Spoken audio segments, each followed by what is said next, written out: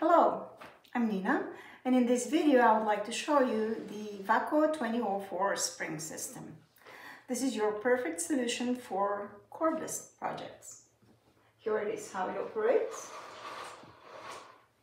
It is a free floating system so you can stop, raise it at any point. Alright, so let's see what is in this truck. So first we have springs that sit in the, at the end of the truck. And then we have accelerator, the drums, and then another accelerator for in space for another spring in case this system is designed with two springs.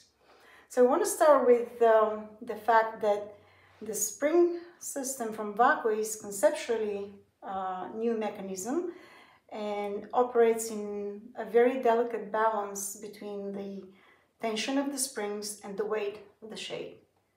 That's why it's extremely important to know with approximation to one pound how heavy your body shade will be uh, before we assemble the truck. Uh, why is that so? As you can see, this is a very small spring. It measures only two inches across. Once again, it fits into the 2004 truck. And with the spring being this small, that means that we have very little material inside. So this spring is actually a tape spring. What is a tape spring? It resembles very much the measure tape that you use every day. So with a measure tape, you have a button, then you can lock it while with this tape spring, you have to reach a balance between the tension and the weight. This is how the spring stops. There is no lock to lock the spring in position. It has to be the weight. So, in this spring we have a tape that's approximately about two feet long. The spring can rotate only this much. Well, that might not be enough for a long shade, right? We have shade over 24 inches. What are we going to do then? So here is another great invention from the engineers at VAKO. This little piece called accelerator works just like the gear in your car. One side rotates with certain speed, the other one multiplies that speed. In this case, this is 1 to 4 gear, meaning that if you have this spring on one side and spring flips once, uh, spins one time, the other side of the gear will spin four times. And this is how we allow the shade to uh, operate in a longer range. With this system, you can uh, fabricate shades between 15 and a half inches wide up to 19.90.5 and they could be long as long as 90 inches as well. The minimum length for the shade is 32 inches and this is just because we need to give enough room for the spring to operate. How do we assemble one of these trucks? Uh, well, like I said, the shade weight is extremely important. Why? Because each one of these springs can carry up to 1.5 pounds. What happens if the shade is heavier than that? Well, we'll stack two springs together because two springs now can carry up to three pounds. If you have more, four and a half, and six pounds. Six pounds shade is the maximum that spring system can hold.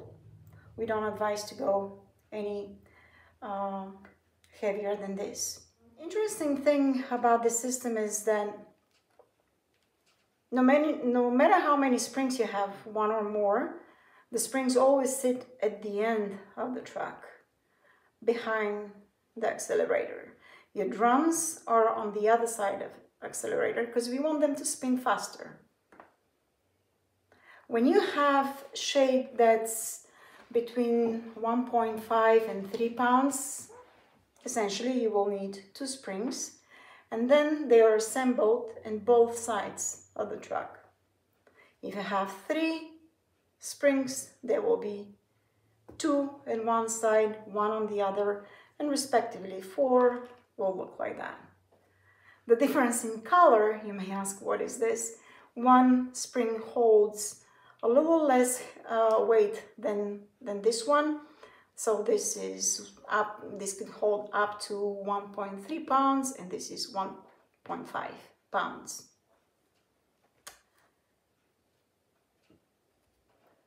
There is a sequence how to assemble the truck.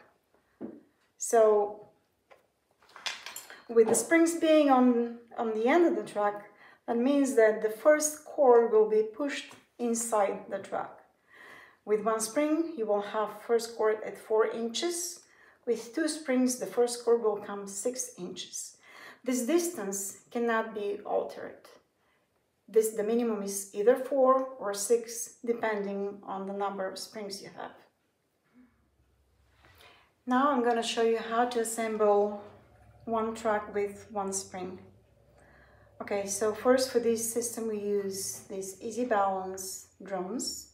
They are a little bit different from the others and have one slider here.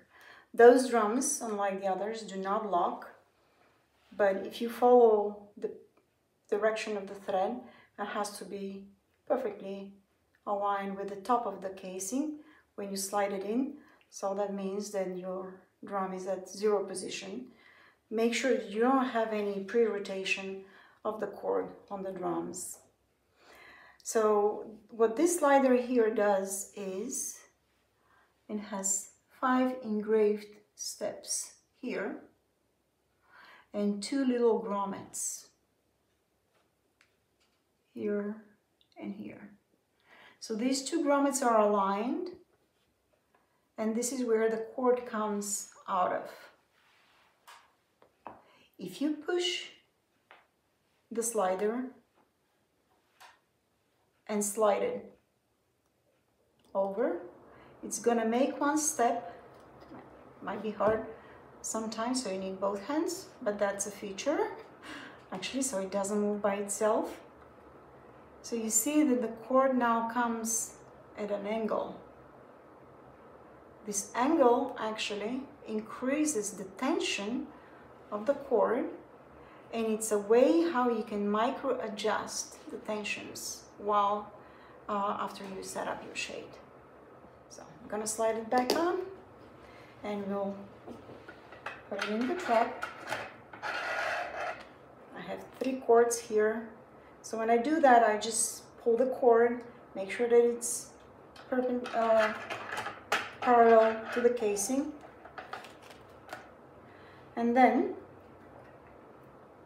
your drive rod has to be cut and spliced in pieces.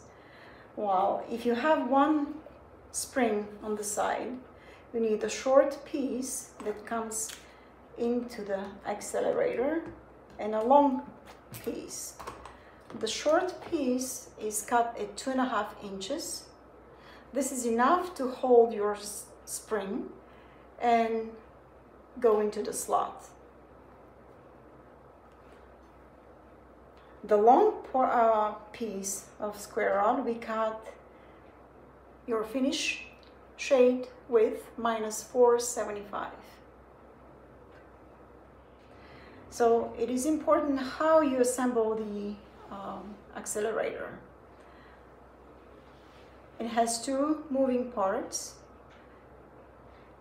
those screws naturally fall into the groove of the square rod okay tie that in. The accelerator has two plates. One does not have any screws on the plate, but the other side has four screws in. So these four screws have to face the inner part of the shade. No screw plate faces outside. Okay.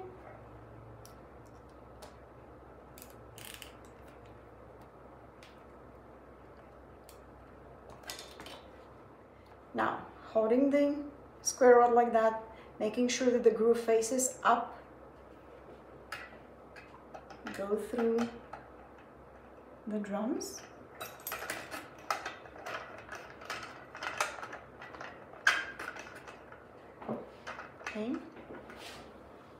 And now here is the tricky part. I put a cross mark here just for visuals. But remember how this piece rotates in a different ratio, both sides? So you have to rotate it until these marks align. The mark should align with both screws. The profile of this accelerator has the same profile as the internal part of the tr truck. So there is only one way this will fit in, but you want to align all three points, just like so. Okay, and now put the spring in. Again, there is only one way the spring will fit in, and of course, with the pin out going through the opening. Make sure that you keep the pin inserted because the pin is what keeps the, the spring locked. If you pull that spring, this will disengage the spring and will spring out. Okay. Now we have an end cap. Next thing is to fix your cord position and tighten with the screws. Do not pull these just yet. All right, so this is a track assembled with one spring on. In case your chain has uh, more weight to it and you need extra spring, you need to cut the long drive rod six and three quarters inches shorter than the finish width of your uh, shade. You need two small pieces like that, two and a half inches each on both sides. What is important to pay attention to here is that both accelerators have to be assembled symmetrically into the truck. The four screws plate plates are facing each other. However, when you slide in the springs, the springs have to face one direction. And you can tell by the pins facing this direction. Whether the pin will be facing this direction or the other. It doesn't really matter.